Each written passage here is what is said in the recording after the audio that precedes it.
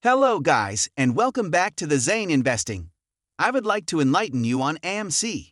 So, yesterday we had earnings, and I'm sure you've all seen the earnings videos. They were in abundance. They were phenomenal earnings, generating $2.7 billion in revenue. We had said correctly.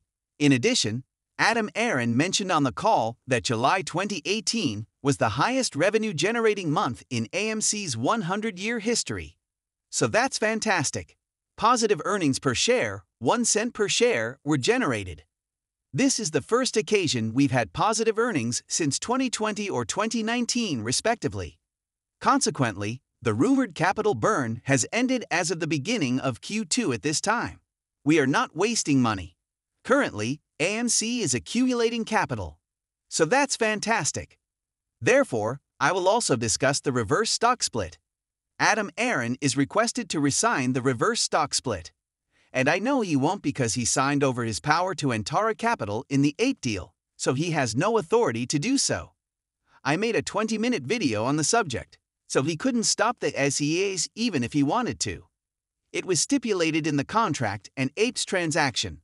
Therefore, I am requesting that he cancel the event in order to exert pressure on him and the reason is that no company performs a reverse stock split voluntarily. They must be compelled to do it due to noncompliance. At $5 per share, AMC will not be in a non-compliant situation. They will never be less than a dollar.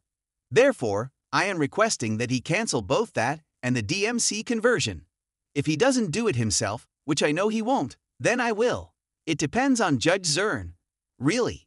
It is a fact that preferred shares cannot be voted with common shares so it is hoped that Judge Zurn will permanently dismiss this case and rule accordingly.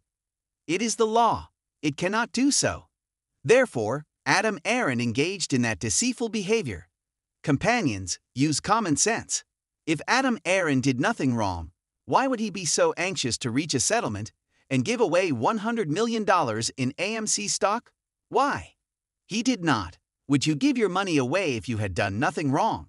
Or would you choose to battle and win? That is my opinion. If you did nothing illegal, you would probably fight and prevail, wouldn't you?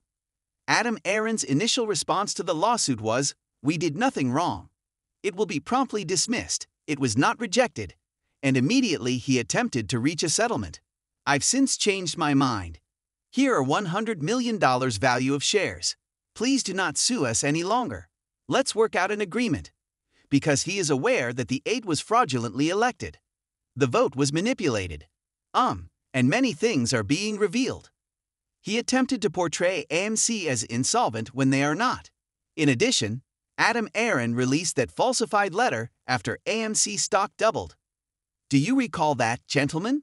Sunday evening? That Sunday evening seemed like two weeks ago, and the following day AMC stock plummeted due to his inundation letter. It's been four years. Our highest profits over the past four years. Not a single tweet from Adam Aron regarding our incredible earnings report. What does that indicate?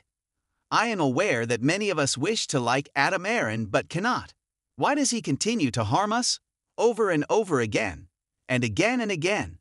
Okay, so if he helped us, we might have a different perspective.